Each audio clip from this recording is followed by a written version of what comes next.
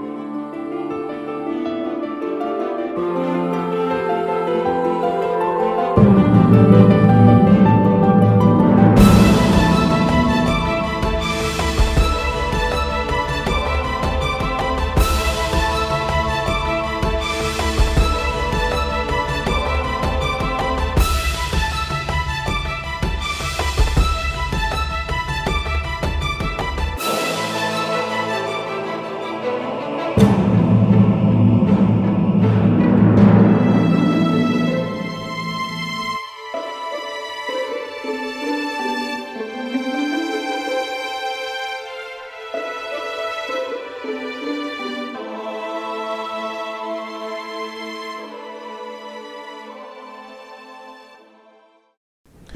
Αγαπητοί μου φίλοι και φίλες, χαίρετε. Ας έχει δόξα το όνομα του Κυρίου μας, του Ιησού Χριστού, που μας βοηθάει, μας αξιώνει και σήμερα να είμαστε μαζί στην εκπομπή με τίτλο «Απαντήσεις μέσα από το Λόγο του Θεού». Είναι η εκπομπή αυτή μέσα από την οποία προσπαθούμε μέσα από το Λόγο του Θεού να σχολιάζουμε όλα τα ζητήματα τα οποία μας στέλνετε με email στην οθόνη που τώρα να γράφετε στις οθόνες σας. Θα θέλαμε μια φορά ακόμη να επιμείνουμε ότι ποτέ δεν διεκδικήσαμε την ευθυντία της ερμηνείας των γραφών, ούτε ποτέ θεωρήσαμε τους εαυτούς μας ότι είμαστε δάσκαλοι, καθηγητές ή θεολόγοι, αλλά εκείνο που πιστεύουμε είναι ότι είμαστε μαθητές και μαθητεύουμε μαζί με εσάς, όλοι μαζί μαθητεύουμε μέσα από το Λόγο του Θεού για όλα τα ζητήματα τα οποία τώρα μας απασχολούν στην καθημερινότητά μας. Σήμερα θα ξεκινήσουμε με έναν φίλο μας, τον Γιώργο. Μας γράφει, χαίρετε πάντοτε, έχω μία ερώτηση. Ο διάφορος μπορεί να κάνει θαύματα; Ε, είναι μία ερώτηση που πολλές φορές έχει απασχολήσει τους ανθρώπους, αγαπητέ φίλε Γιώργο, ε, και μέσα από το Λόγο του Θεού φαίνεται ότι ο διάβολος δεν μπορεί να κάνει θαύματα. Ας δούμε όμως τι μπορεί να κάνει. Ε, διαβάζω λοιπόν από την επιστολή προς Θεσσαλονική στη Δευτέρα του Αποστόλου Παύλου. Από το δεύτερο κεφάλαιο καθώς ε, αναφέρεται ε, στον Αντίχριστο ο Απόστολος Παύλος και από το 7 εδάφιο.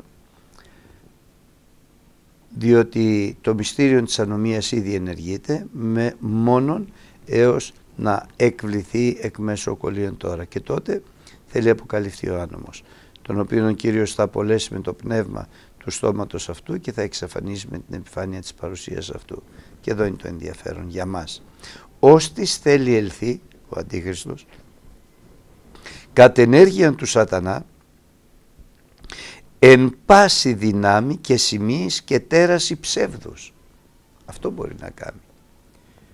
Θα έχει μεγάλη δύναμη για να κάνει όμως εν πάση δυνάμει και σημείς και τέραση ψεύδους, σημεία και τέρατα ψεύδους. Και συνεχίζει ο Λόγος του Θεού. Και εν πάση απάτη της αδικίας μεταξύ των απολυμένων, διότι δεν εντέχθησαν την αγάπη της αλήθειας για να σωθούν. Άρα λοιπόν αυτό που μπορεί να κάνει ο διάβολος και ο δούλος του Αντίχριστος την περίοδο της απόλυτης εξουσίας που θα έχουν επί της γης, την εφταετία όπου ο Χριστός θα έχει παραλάβει προηγούμενα την εκκλησία του, είναι να έλθει εν πάση τη δυνάμει του διαβόλου με σημεία και τέρατα ψεύδους όμως και εν πάση απάτη της αδικίας μεταξύ των απολυμένων. Δεν βλέπουμε πουθενά αλλού ο διάβολος να μπορεί να κάνει κάτι άλλο παρά μόνο σημεία και τέρατα ψεύδους και απάτη να πατάει, να πλανάει τους ανθρώπους, να κοροϊδεύει τους ανθρώπους αλλά τους απολυμένους. Όμως αν πάμε και στο κατά Ιωάννη Ευαγγέλιο, είναι στο γεγονός σε, την, σε εκείνο το κεφάλαιο όπου αποκαλύπτει ο Λόγος του Θεού ότι ο Ιησούς Χριστός α, έκαμε να βλέπει ένας εκγενετής τυφλός. Και αφού τον κατηγόρησαν και τον εκγενετής τυφλό ότι είναι αμαρτωλός αλλά και τον Ιησού Χριστόν τον Αζωραίο που τον θεράπευσε τότε απολογούμενος ο τυφλός λέγει κάτι που μας ενδιαφέρει πολύ. Διαβάζω από το 31 εδάφιο του, του, δεκάτου, του, του, του ενάτου κεφαλαίου. Εξεύρωμεν δε ότι αμαρτωλούς ο Θεός δεν ακούει. Αλλά εάν της συνεθεσεβείς και κάνει το θέλημα αυτού του τον ακούει. Εκ του νεόνος δεν οικούστη ούτε αν, ότι άνοιξε τις οφθαλμούς γεγεννημένου τυφλού. Και το εδάφιο. Εάν ούτως δεν είναι το παραθεού, δεν δύνατο να κάνει ουδέν. Ο Ιησούς Χριστός λοιπόν έκανε θαύματα γιατί ήταν από το Θεό. Εάν δεν ήταν από το Θεό δεν μπορούσε να κάνει τίποτα. Γιατί μόνο ο Θεός ενεργεί θαυμάσια με τους δούλους του. Και στην Παλαιά Διαθήκη και στην Καινή Διαθήκη εν το όνομα του Ιησού Χριστού.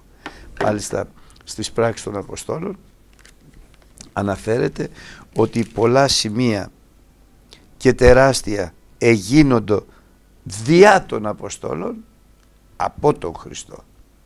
Σημεία και τεράστια κάνει ο Χριστός, κάνει ο Θεός. Βεβαίως διαχειρών των Αποστόλων. Και επίσης ένα άλλο εδάφιο που αναφέρεται σε αυτό. Διαβάζω από το γιώτα κεφάλαιο της, του κατά Ιωάννη Ευαγγελίου και το 21 εδάφιο. Από το 19 θα διαβάσω. Σχίσμα λοιπόν έγινε πάλι μεταξύ των Ιουδαίων για τους λόγους τούτους και έλεγαν πολλοί εξ αυτών δαιμόνιον έχει και είναι μενόμενος. Τι ακούετε αυτόν; Άλλοι έλεγαν ούτε οι λόγοι δεν είναι δαιμονιζομένο και το συγκεκριμένο εδάφιο. Μήπως δύναται δαιμόνιον να ανοίγει οφθαλμούς τυφλών. Θαύματα λοιπόν μόνο ο Θεός κάνει. Σημεία και τέρατα ψεύδους κάνει και ο διάβολος. Αλλά θαύματα, δηλαδή σωτηρία, θεραπεία, δυνάμεις, μόνο ο Θεός κάνει. Μόνο ο Ιησούς Χριστός μπορεί να πει στη θάλασσα σιώπα και να ησυχάσει. Μόνο ο Ιησούς Χριστός θεραπεύει πάσα νόσον και πάσα ασθένεια με το αίμα του που έχεις πάνω στο σταυρό του Γολγοθά. Μόνο ο Θεός δια του Ιησού Χριστού επνεύματι Αγίο μέσα από τους δούλους του, τους πιστούς στους οποίους μάλιστα έχει δώσει και χαρίσματα μίζωνα. Αλλά αν πάμε και στις πράξεις των Αποστόλων στο 8ο κεφάλαιο, στο Ήτα κεφάλαιο θα διαβάσουμε κάτι που έχει πολύ μεγάλη σημασία με το Σίμωνα το Μάγο ο οποίος ήταν ιός του διαβόλου. Όταν ο Φίλιππος πήγε στη Σαμάρια κήρυξε το Ευαγγέλιο του Ιησού Χριστού τότε οι όχλοι διαβάζω από το έξι εδάφιο προσήχαν ομοθυμαδόνοι στα λεγόμενα επί του Φιλίππου ακούοντες και βλέποντες τα θαύματα τα οποία έκαμνε. Διότι εκ πολλών εχόντων πνεύματα ακάθαρτα εξήρχοντο αυτά φωνάζοντα με τα φωνής μεγάλης και πολλοί παραλυτικοί και χολοί εθεραπεύθησαν. Εκεί όμως υπήρχε και ο Σίμων ο Μάγος. Άνθρωπος δε της, διαβάζω 9 εδάφιο. Σίμων ονομαζόμενος προϋπάρχον εν την πόλη κάμνων μαγείας και εκπλήτων των λαών της Σαμαρίας λέγονε αυτόν ότι είναι μεγαστής στον οποίο έδιδον προσοχήν πάντες από μικρού έως μεγάλου λέγοντες ούτως είναι η δύναμη του Θεού η μεγάλη. Και γιατί; Διότι έδιδον, προσευχή, έδιδον δε προσοχήν σε αυτόν διότι είχε εκπλήξει αυτούς πολύ καιρών με τας μαγείες αυτού.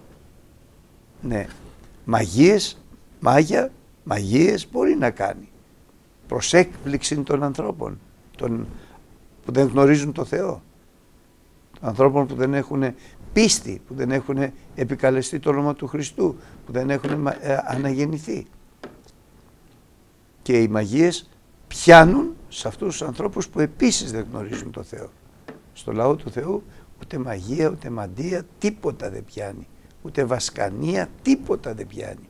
Γιατί κατοικεί μέσα μας αυτός που είναι μεγαλύτερος από αυτόν που βασιλεύει στον κόσμο κατοικεί μέσα μας ο Κύριος των Κυρίων και ο Βασιλιάς των Βασιλιάδων. Άρα με μεγάλη βεβαιότητα μπορούμε, μπορούμε να πούμε ότι ο διάβολος θαύματα ευλογίας, θαύματα καλοσύνης, θαύματα που βοηθάνε τον άνθρωπο δεν μπορεί να κάνει. Ούτε θεραπείες, δεν έχει δυνάμεις, μόνο σημεία και τεράστια ψεύδος. Βέβαια έχει μια περιορισμένη δυνατότητα που φαίνεται πολύ καλά στην έξοδο όταν ο Θεός απέστειλε τον, τον Μωυσή στο Φαραώ. Όταν τον απέστειλε λοιπόν του έδωσε μια ράβδο και ο Μωυσής πέταξε τη ράβδο και η ράβδος έγινε φίδι. Και λέει η γραφή Εκάλεσε δε και ο Φαραώ τους μάγους τους δικούς του και τους σοφούς και οι μάγοι της Αιγύπτου έκαναν και αυτοί ως αυτός με τα σοδάς αυτών διότι έριψαν έκαστος στη ράβδον αυτού και έγινε όφης. Η ράβδος όμως του Ααρών κατάπιε τους, τας ράβδους εκείνων. Κάνανε και αυτοί τις ράβδος φίδια αλλά η ράβδος του Ααρών που έριξε του Μωυσή κατάπιε τα φίδια των άλλων. Δηλαδή είναι ανίσχυρη ανίσχυρες οι μαγείες και οι δυνάμεις του διαβόλου μπροστά στην παρουσία του Θεού. Ακόμη η πρώτη πληγή ήταν όταν το νερό έγινε αίμα. Έκαμον δε, διαβάζω στο 22 εδάφιο, έκαμον δε το όμοιον και η μάγη της Αιγύπτου με τα εποδάς αυτών και σκληρύνθη η καρδία του Φαραώ και δεν εισήκουσαν εις αυτούς. Δηλαδή έκαναν και αυτοί τον, τον νερό αίμα. Στην δεύτερη πληγή, όταν ο Θεός διέταξε τον Μωυσή να δώσει εντολή να γεμίσει όλη η γη με βατράχια, λέει στο 7 εδάφιο και έκαμον ομοίωση μάγοι με τα σεποδάς αυτών και ανοίγαγον τους βατράχους επί την γη της Αιγύπτου. Τότε Εκάλεσε οχτώ εδάφιο ο Φαραώ τον Μωυσή και τον Αρών και είπε δεήθητε τον Κύριο να σηκώσει τους βατράχους από εμού και από του λαού μου και θέλω εξαποστείλει το λαό για να θυσιάσωση. Κατάλαβε λοιπόν ο Φαραώ ότι και οι μάγοι του και οι παϊδοί του βγάζουν βατράχια αλλά δεν μπορούν να θεραπεύσουν τη γη από τα βατράχια. Και στην τρίτη και τελευταία που έκαναν τα ίδια οι μάγοι είναι όταν και είπε ο Κύριος προς τον Μωυσήν, πες τον Ααρών να εκτείνει τη ράβδο σου και χτύψουν το χώμα της γης, για να γίνουν σκνήπες καθ' όλη τη γη της Αιγύπτου. Και έτσι και έγινε. Και στο 18 εδάφιο διαβάζω και καμονομίως οι μάγοι με τα σεποδάς αυτών, για να εκβάλωση σκνήπας, εδώ τώρα αρχίζει πλέον η οριστική αδυναμία, πλην δεν ειδηνήθησαν οι σκνήπες, δεν ειδηνήθησαν να εκβάλωσει τα σκνήπας, το ξαναδιαβάζω το 18 εδάφιο, και έκαναν ομοίως οι μάγοι με τα σεποδάς αυτών, δια να εκβάλωση τα σκνήπας. Πλην δεν ειδηνήθησαν, οι σκνήπες λοιπόν ήσαν επί τους ανθρώπους και επί τα κτίνη. Τότε είπαν και οι μάγοι προς το Φαραώ, δάκτυλος Θεού είναι τούτο. Άρα μπορούν να κάνουν κακό, μπορεί να κάνει κακό ο διάβολος, όχι στα παιδιά του Θεού, δεν έχει καμία εξουσία ούτε να τους αγγίξει. Ούτε να αγγίξει τα παιδιά του Θεού δεν μπορεί. Μπορεί να κάνει ο διάβολος κακός στους ανθρώπους και γενικά κακό μεταξύ των απολυμένων, να κάνει ακόμη και σημεία και τέρατα ψεύδους, αλλά θεραπεία σε άνθρωπο, θαύματα που βοηθάνε τον άνθρωπο δεν μπορεί να κάνει. Ούτε θεραπείες, ούτε δυνάμεις, ούτε αυτά είναι δάχτυλος Θεού. Είναι μόνο το χέρι του Θεού που μπορεί να τα κάνει. Αυτή είναι η αλήθεια του Ευαγγελίου αγαπητέ φίλο Γιώργο. Ο διάβολος, ο κόσμος να χαλάσει δεν μπορεί να κάνει θαύματα. Δεν μπορεί. Σημεία και τέρατα ψεύδους είναι η ειδικότητά του. Αλλά ψεύδος. Αληθινές θεραπείες, σωτηρία ανθρώπων, ευλογία ανθρώπων δεν μπορεί ελευθερία ανθρώπων, να λυτρώσει ανθρώπους, δεν μπορεί. Κύριος να σε ευλογήσει αγαπητέ μας φίλε και να είμαστε βέβαιοι για δύο πράγματα. Ο διάβολος θαύματα δεν μπορεί να κάνει, μόνο κακό κάνει, το πρώτο. Και το δεύτερο είναι στα παιδιά του Θεού δεν μπορεί να κάνει και κανένα κακό γιατί δεν μπορεί να τους αγγίξει γιατί μέσα τους, μέσα στα παιδιά του Θεού, αυτός που κατοικεί είναι πολύ μεγαλύτερος από αυτόν που κυβερνάει τον κόσμο. Ο Κύριος να σε ευλογήσει πολύ αγαπητέ φίλε. Συνεχίζουμε με έναν ανώνυμο αδελφό μας ο οποίος λέγει «Ο Θεός να είναι μαζί σας πάντοτε και να σας ευλογεί όλους». Ποια είναι η γνώμη σας για το κενοτικό, δηλαδή ότι ο Ιησούς Χριστός εδώ στη γη ήλθε μόνος σαν άνθρωπος. Ναι, είναι θα τολμούσα να πω μια αίρεση η οποία υπήρχε πάντοτε και στην αρχαία εκκλησία. Ήταν οι περίφημοι πατροπασχίτες ή μονοφυσίτες. Ε, δηλαδή δεν δέχονταν το ότι ο Ιησούς Χριστός έχει δύο φύσεις. Και Υιός Θεού, Θεός αληθινός και άνθρωπος, Χριστός Ιησούς που είναι και ο μόνος μεσίτης μεταξύ Θεού και ανθρώπων. Το κενοτικό στο οποίο αναφέρεσαι είναι αυτό που λέγει ο Απόστολος Παύλος στην επιστολή του προς Φιλιππισίους, διαβάζω. Το αυτό δε φρόνημα, από το δεύτερο κεφάλαιο και από το πέντε δάφιο, το δε, αυτό δε φρόνημα έστω εν ημίν το οποίο ήτο εν το Χριστό Ιησού, ώστε σε μορφή Θεού υπάρχουν, δεν ενόμισε αρπαγή το να ενίσαμε το Θεό, αλλά αυτόν εκένωσε. Και εδώ μιλάει για την κένωση από τη θεότητα, η αίρεση αυτή.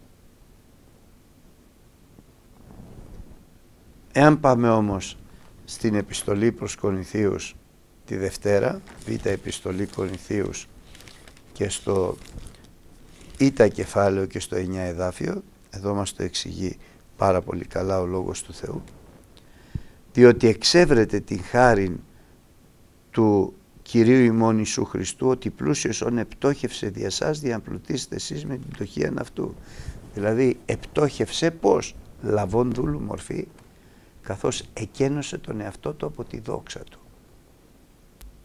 Γι' αυτό και ο Θεός τον υπερήψωσε, γιατί ταπείνωσε τον εαυτό του μέχρι θανάτου δε, θανάτου δε σταυρού. Δηλαδή, σύμφωνα με αυτή την αίρεση, κάτι ταπεινή μας γνώμη, οι άνθρωποι πιστεύουν ότι ο Ιησούς Χριστός ήλθε στη γη και σταυρώθηκε και δεν μπορούσε να φύγει. Δεν μπορούσε δηλαδή, αν ήθελε να αλλάξει γνώμη, γιατί παγιδεύτηκε. Καθώς έπαψε να είναι Θεός. Και σαν άνθρωπος μόνο παγιδεύτηκε. Έπρεπε να πεθάνει πάνω στο σταυρό του Γολγοθά. Έπρεπε να πεθάνει θέλ, θέλ, θέλοντας ή όχι. Όμως στο κατά Ιωάννη Ευαγγέλιον εξηγεί ο Λόγος του Θεού Γιώτα 17 Δια τούτο ο πατήρ με αγαπά. Γιατί; Διότι εγώ θυσιάζω την ψυχή μου, εγώ θυσιάζω την ψυχή μου για να λάβω πάλι αυτήν. Ουδής αφαιρεί αυτήν απ' μου, αλλά εγώ βάλω αυτήν απ' αυτόν. Εξουσία έχω να βάλω αυτήν και εξουσία έχω πάλι να λάβω αυτήν. Αλλά το κάμω διότι ταύτην εντολήν έλαβον παρά του πατρός. Είχε εξουσία ο Κύριος να πει δεν σταυρώνομαι. Και εξουσία να πει θα κάνω το θέλημά σου. Δύο έρχομαι Θεέ να κάνω με χαρά το θέλημά σου. Δεν δεσμεύθηκε από μία απόφαση που εν τέλει δεν μπορούσε να την αλλάξει αλλά μέχρι την τελευταία στιγμή είπε στον Πιλάτο εγώ μπορώ να διατάξω λεγεώνες αγγέλων να με ελευθερώσουν αλλά εγώ γι' αυτό ήρθα για να πεθάνω για τις αμαρτίες των ανθρώπων και να με αναστήσει ο πατέρας μου για την δικαιοσύνη των ανθρώπων. Άρα, άρα δεν υπάρχει καμία πιθανότητα ο Θεός να ήλθε και να ήταν μόνο άνθρωπος έστω και αν όπως λένε κάποιοι ήταν και είχε πράγματι το πνεύμα χωρίς μέτρο γι' αυτό έκανε τα πάντα. Όχι, δεν παγιδεύτηκε ο Χριστός. Έβαλε την ψυχή του υπέρ των ανθρώπων κάνοντας το θέλημα του Θεού και μπορούσε να μην τη βάλει. Ήταν ελεύθερος γιατί δεν έπαψε ποτέ να είναι Θεός. Γι' αυτό και είχε το μόνο χαρακτηριστικό που έχει μόνο ο Θεός να διαβάζει τις καρδιές των ανθρώπων, τους διαλογισμούς των ανθρώπων, να βλέπει το μέσα του ανθρώπου. Αυτό μόνο ο Θεός το έχει. Τις καρδιές των ανθρώπων μόνο ο Θεός τις ακούει και τις διαβάζει. Τη σκέψη των ανθρώπων μόνο ο Θεός ακούει και διαβάζει. Κανένας άλλος. Ιησούς Χριστός λοιπόν όντας Θεός ήξερε τα πάντα. Πάρα πολλές φορές απαντούσε στους ανθρώπους κατά τις σκέψεις τους. Σύμφωνα με τις σκέψεις τους. Να μην αναφερθούμε σε αυτό. Άρα λοιπόν καμία πιθανότης να ήταν ο Θεός μόνο άνθρωπος. Και Θεός και άνθρωπος. Βέβαια υπάρχει και μία άλλη αίρεση που λέγεται Jesus Only σήμερα, τότε λεγόταν Πατροπασχίτες, ότι στο σταυρό του Γολγοθά πέθανε ο πατέρας. Και αυτό νομίζω ότι δεν χρειάζεται ιδιαίτερη γνώση των γραφών για να καταλάβουμε ότι ο Θεός απέστειλε τον Υιόν του αυτό τον μονογενή επειδή τόσο πολύ αγάπησε τον κόσμο και έχισε το αίμα του το αμνού του Θεού, του αρνίου του εσφαγμένου το αίμα του πάνω στο σταυρό του Γολγοθά. Γι' αυτό και στην Αποκάλυψη υπάρχει ο Πατέρας και υπάρχει και το αρνίον το εσφαγμένο στο θρόνο του Θεού. Το αρνίον το εσφαγμένο δεν πάβει ποτέ να υπάρχει και δεν είναι άλλος από τον άνθρωπο Χριστό Ιησού. Τον Υιόν του Θεού, τον Υιόν του Θεού του Ζώντος, τον Χριστό, τον Μεσσία, ο οποίος είναι ο Λόγος του Θεού που έγινε σάρξη. Άλλωστε τρεις είναι οι μαρτυρούντες στον ουρανό, Πατέρας, ο Λόγος και το Πνεύμα το Άγιο. Και αυτοί οι τρεις είναι ένα. Υπάρχει και άλλη άποψη ότι ο Ιησούς Χριστός εδώ ήλθε μόνο σαν Θεός. Άρα πάνω στο σταυρό του Γολγοθά δεν πόνεσε και εκεί στηρίζεται και η παρθενογέννησης. Δηλαδή όταν γεννήθηκε ο Ιησούς Χριστός δεν α, ε, κατεστράφει η παρθενία της Μαρίας. Αυτό είναι φοβερό έτσι. Φοβερό. Γιατί γεννήθηκε άνθρωπος Χριστός Ιησούς. Πεδίο εδόθησεσαι. Είσαι, μιλάει ο Θεός στη Μαρία. Άρα γέννησε άνθρωπο. Και γι' αυτό κατεστράφηκε η παρθενία της. Δεν υπάρχει το αϊπάρθενον. Το αϊπάρθενον είναι μία πλάνη. Πουθενά οι γραφές δεν μιλάνε για αϊπάρθενον. Άνθρωποι αργότερα έβγαλαν αυτή την άποψη η οποία βέβαια είναι τελείως εκτός του Λόγου του Θεού για να μην πω ότι βλασφημείται με αυτή και ο Λόγος του Θεού. Γιατί ο Ιησούς Χριστός είναι Θεός αληθινός και άνθρωπος Χριστός Ιησούς. Και πάνω στο σταυρό του Γολγοθά ανέβηκε ο άνθρωπος Χριστός Ιησούς. Ο άνθρωπος πέθανε. Ο Θεός δεν πεθαίνει. Ο άνθρωπος Χριστός Ιησούς πέθανε. Ο άνθρωπος Χριστός Ιησούς έχισε το αίμα του και ο άνθρωπος Χριστός Ιησούς είναι αυτός που σώζει τους ανθρώπους γιατί δεν υπάρχει άλλο όνομα δεδομένο ανάμεσα στο Θεό και στους ανθρώπους για το οποίο πρέπει να σωθούμε. Ένα είναι το όνομα το δεδομένο. Άνθρωπος Χριστός Ιησούς. Μόνος μεσίτης μεταξύ Θεού και ανθρώπων. Άρα ούτε μόνο Θεός ήλθε ούτε μόνο άνθρωπος ήλθε. Αλλά ο Χριστός έχει δύο φύσεις. Είναι ταυτόχρονα Θεός αληθινός, Υιός του Θεού του ζώντος, ο ενσαρκωμένος Λόγος του Θεού, καθώς λέγει η Γραφή, το μυστήριο της ευσεβίας είναι μέγα, ότι ο Θεός ήλθε εν σαρκή. Ο Θεός ήλθε εν σαρκή και παρέμεινε Θεός. και δεν πέθανε πάνω στο σταυρό του Γολγοθά ο Θεός, ο άνθρωπος Χριστός Ιησούς πέθανε. Ο άνθρωπος σταυρώθηκε. Ο άνθρωπος πόνεσε. Αλλά ποτέ δεν έχασε τη θεϊκή του ιδιότητα, τη θεϊκή του υπόσταση. Θεός αληθινός. Ο Κύριος να σε ευλογήσει αγαπητέ μου φίλε. Ανώνυμε και να συνεχίσουμε με μια άλλη ερώτηση μιας αδελφής μας από την επαρχία. Αγαπητέ αδελφέ Γιώργο, σας χαιρετώ με αγάπη Χριστού, σας παρακαλώ, θα ήθελα να απαντήσετε στις παρακάτω ερωτήσεις μου. Ποιο ο ρόλος της ποιος ο ρόλος της γυναίκας ενός διακόνου μέσα στην Εκκλησία; Από ποιον παίρνει εντολές και καθοδήγηση για το τι πρέπει να κάνει μέσα στην Εκκλησία; Από το σύζυγό της, από τον υπεύθυνο της Εκκλησίας, από τις γυναίκες των άλλων διακόνων και πρεσβυτέρων ακόμη; Σας ευχαριστώ για το χρόνο που θα διαθέσετε για να απαντήσετε στις ερωτήσεις μου. Θα προσεύχομαι ο Κύριος να σας δώσει σοφία να απαντήσετε κάτω το θέλημά Του με πολύ αγάπη Χριστού. Αγαπητοί αδελφοί από την επαρχία, υπάρχει κάτι που δεν μπορεί να αμφισβητηθεί μέσα στο, από το Λόγο του Θεού. Ο κεφαλή της γυναικός είναι ο άντρας και η κεφαλή της, ο άντρας της και η κεφαλή του ανδρός είναι ο Χριστός. Ο Χριστός λοιπόν δίνει εντολή στον άντρα να κυβερνάει τον οίκον του και ο άντρας με την ευθύνη του ποιμένα του σπιτιού του κυβερνάει το σπίτι του και πρέπει να κυβερνάει καλός, να προείσταται καλός. Ανάμεσα λοιπόν στον άντρα και στη γυναίκα δεν μπορεί κανένας να μπει. Ούτε ποιμένας, ούτε πατέρας, ούτε μητέρα, ούτε αδελφός, ούτε αδελφή, ούτε πρεσβύτερος, κανένας. Είναι ένας ιερός θεσμός ο γάμος. Η γυναίκα να αγαπάει και να υποτάσσεται στον άντρα της, η γυναίκα να αγαπάει και να υποτάσσεται στον άντρα της, όπως η Εκκλησία στο Χριστό, και ο άντρας να αγαπάει, να περιθάλπτει και να φροντίζει τη γυναίκα του όπως ο Χριστός στην Εκκλησία.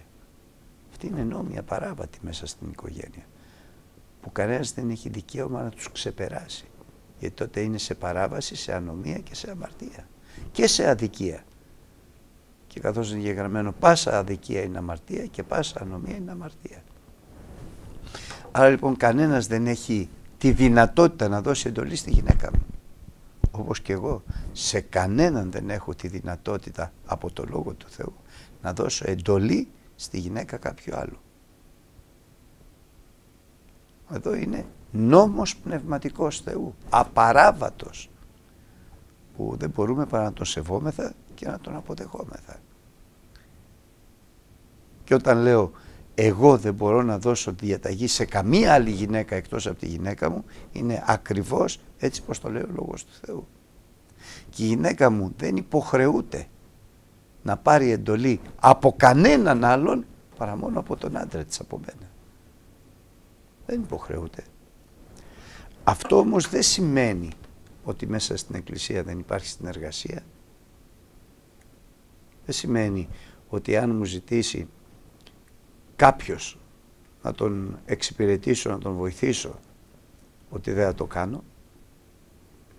Δεν σημαίνει ότι δεν μπορεί να έρθει κάποιος πρεσβύτερος ή πρεσβύτερος αδελφός και να πει στη γυναίκα μου αδελφή σε παρακαλώ μπορείς επειδή θα έχουμε κοινωνία με τα λίνο να μαγειρέψεις ένα ταψί τέτοιο φαγητό. Δεν της δίνει εντολή, την παρακαλάει. η γυναίκα μου μπορεί να πει ναι αφού πρώτα όμως με ρωτήσει εμένα για να υπάρχει τάξης και όλα να γίνονται κατά τάξη και ευσχημόνος στην Εκκλησία του Χριστού. Γιώργο μου είπε να κάνω αυτό το πράγμα. Να το κάνω, πώς τι καταλαβαίνεις εσύ; Και εγώ βεβαίως θα συνεννοηθώ με τη γυναίκα μου και θα πάρουμε μια απόφαση. Και θα πούμε ναι. Πολλές φορές βέβαια η γυναίκα μου δεν χρειάζεται να με ρωτήσει γιατί ξέρει την απάντησή μου εκ των προτέρων. Εάν έρθει κάποιος αδερφός, κάποια αδελφή και μου πει βοήθησε με σε παρακαλώ σε αυτό. Αλλά το, το διευκρινίζω, όχι σαν εντολή. Γιατί εσύ λες, από ποιον παίρνει εντολές και καθοδήγηση, όχι σαν εντολή ούτε καθοδήγηση. Σαν παράκληση, ναι. Μέσα στο πνεύμα της συνεργασίας που όλοι μαζί εργαζόμαστε το έργο του Θεού, είτε σαν πρεσβύτεροι, είτε σαν διάκονοι, είτε σαν αδελφοί, δεν έχει σημασία πώς. Ο ένας υπηρετεί τον άλλον, ο ένας βοηθάει τον άλλον, ξεκουράζει τον άλλον. Αν σου ζητήσει κάποιος να του κάνεις μια, μια χάρη, ένα χατήρι θα την κάνεις. Αλλά αυτό είναι παράκλησης. Αυτό είναι μέσα στο πνεύμα της αγάπης και της συνεργασίας. Στο κοινό έργο της συνεργασίας. Δεν είναι εντολή και καθοδήγηση, είναι γέννητο εντολή και καθοδήγηση στη γυναίκα μου μόνο εγώ μπορώ να δώσω. Και μάλιστα και εγώ με προσευχή, με βοήθεια από το Θεό, μην την οδηγήσω με την καρδιά μου ή με τις σκέψεις μου ή με τη λογική μου σε ζημιές. Θα προσευχηθώ κι εγώ. Δεν είναι η γυναίκα μου δούλη μου. Για να της λέω κάνε αυτό, μην κάνεις εκείνο και είσαι υποχρεωμένη ό,τι σου λέγω να κάνεις γιατί λέει ο λόγος του Θεού η γυναίκα να υποτάσσεται στον άντρα. Όχι δεν είναι δούλη. Είναι αδελφή μου, είναι φίλη μου και είναι και σύζυγός μου. Είναι η δόξα μου. Η γυναίκα λοιπόν είναι η δόξα του άνδρος. Και όπως ο Χριστός για την Εκκλησία τη λέει φίλη μου, αδελφή μου και νύμφη μου, έτσι είναι και για τον άντρα. Αδελφή, φίλη και νύμφη. Ούτε εγώ δηλαδή έχω δυνατότητα να δώσω εντολές και να καθοδηγήσω. Παρόλο που έχω εξουσία από το Θεό να κυβερνώ ή να προείσταμαι καλός εις τον οίκον μου αλλά πάντοτε με τη χάρη του Χριστού, με την οδηγία του Πνεύματος του Αγίου, με προσευχή να την κάνω να, να συμφωνήσει μαζί μου, να της εξηγήσω, να με ρωτήσει και είμαι υποχρεωμένος να της εξηγήσω. Με χάρη Θεού, με έλεος Θεού. Δεν κατεξουσιάζουμε, κανένας δεν έχει δικαίωμα να κατεξουσιάζει ψυχές ανθρώπων. Μάλιστα ο Απόστολος Πέτρος μιλώντας για τους πρεσβυτέρους λέει κάτι Ποιμάνατε λοιπόν το μεταξύ σας πίμνιον του Θεού επισκοπούντες μη αναγκαστικός αλλά εκουσίως μη εσχροκερδός αλλά προθύμος μηδέως κατακυριεύοντες την κληρονομία του Θεού αλλά τύπη γινόμενη του ποιμνίου ώστε όταν φανερωθεί ο αρχιπιμήν θα λάβετε τον αμάροντον στέφανο της δόξης. Μέσα λοιπόν στην εκκλησία, μεταξύ των διακόνων, μεταξύ των πρεσβυτέρων, μεταξύ των αδελφών, το κύριο χαρακτηριστικό είναι η αγάπη. Η αγάπη του Χριστού μας εισφύγει και η αγάπη οδηγεί σε καλή συνεργασία, σε αγαθή συνεργασία για τα πράγματα, για το έργο του Θεού. Δεν οδηγεί σε εντολές και για να το πω μια φορά ακόμη, σε καμία περίπτωση Στη γυναίκα μου δεν έχει εξουσία κανένας άνθρωπος να δώσει εντολή και καθοδήγηση. Δεν το θέλει ο Θεός. Γιατί κεφαλή της γυναίκας μου είμαι εγώ, ο άντρας της. Σε καμία περίπτωση δεν έχει δικαίωμα να κυβερνήσει οποιοδήποτε άνθρωπος. Πρεσβύτερος, ό,τι θέλεις και να είναι ποιμένας, απόστολος, ευαγγελιστής, προφήτης, ε, ό,τι μπορείς να φανταστείς σε καμία περίπτωση δεν μπορεί να κυβερνήσει τον οίκο μου. Να μπει ανάμεσα σε μένα και στη γυναίκα μου. Άρα λοιπόν, συνεργαζόμεθα υποφέροντες αλλήλους εν αγάπη, βοηθάμε και υπηρετούμε ο ένας τον άλλον και εξυπηρετούμε ο ένας τον άλλον, μπορούμε να παρακαλέσουμε να μας βοηθήσει κάποιος και αυτά είναι μέσα στο πλαίσιο της αγάπης, της καλής συνεργασίας και της ευλογίας, ευλογημένης κοινωνίας μεταλλήλων στο έργο του Θεού. Σε καμία όμως περίπτωση δεν μπορεί ένας να δώσει εντολή στη γυναίκα σου, στη γυναίκα μου, όποιος και να είναι αυτός. Για να το ξαναδιαβάσω λοιπόν. Να δω αν το απαντήσαμε όλο. Από ποιον παίρνει εντολές και καθοδήγηση για το τι πρέπει να κάνει μέσα στην εκκλησία, από το σύζυγό της, από τον υπεύθυνο της Εκκλησίας ή από τις γυναίκες των διακόνων και πρεσβυτέρων ακόμη; Νομίζω ότι το απαντήσαμε. Από κανέναν δεν μπορεί να παίρνει εντολές και καθοδήγηση η γυναίκα του διακόνου, του πρεσβυτέρου ή η γυναίκα οποιοδήποτε αδελφού παρά μόνο από τον άντρα της. Αλλά όμως όλοι μπορούμε να ζητάμε ε, από άλλες αδελφές μια εξυπηρέτηση, μια χάρη, αν μπορεί και θέλει και συμφωνεί και ο άντρας της βεβαίως να μας βοηθήσει. Ο Κύριος να σε ευλογήσει αγαπητοί μου αδελφοί από την επαρχία και να μας δίνει όλους σοφία και σύνεση μέσα στην Εκκλησία να περπατάμε ακριβώς στο θέλημα του Θεού, το αγαθόν, το ευάρεστο και το τέλειο, όπως λέει ο Λόγος του Θεού, όχι ως κατακυριεύονται στην κληρονομία του Θεού, αλλά τύποι γινόμενοι του ποιμνίου. Εκείνο δηλαδή που πρέπει να κάνουμε είναι να γινόμαστε καλά παραδείγματα. Όλοι μας, ιδιαίτερα οι πρεσβύτεροι, αλλά και οι γυναίκες των πρεσβυτέρων, οι διάκονοι και οι γυναίκες των διακόνων. Να γινόμαστε καλό παράδειγμα, να τρέχουμε στο έργο του Θεού, να υπηρετούμε τα αδέλφια μας, γιατί δεν είναι άδικος ο Θεός να λησμονήσει το έργο της πίστης μας και τον κόπο της αγάπης μας, καθώς υπηρετήσαμε, υπηρετούμε και συνεχίζουμε να υπηρετούμε τους Αγίους της Εκκλησίας.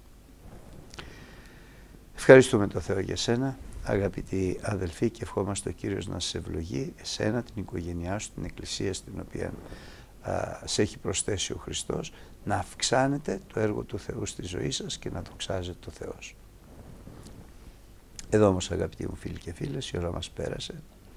Με τη χάρη του Χριστού θα είμαστε μαζί στην επόμενη κούμπη. Μέχρι τότε σας ευχόμαστε μέσα από τα βάθη της καρδιάς μας ο Κύριος μας να σε ευλογεί όλους πλούσια πάντοτε και κατά πάντα στο όνομα του Χριστού μας. Αμήν. Ο Θεός μας εσείς.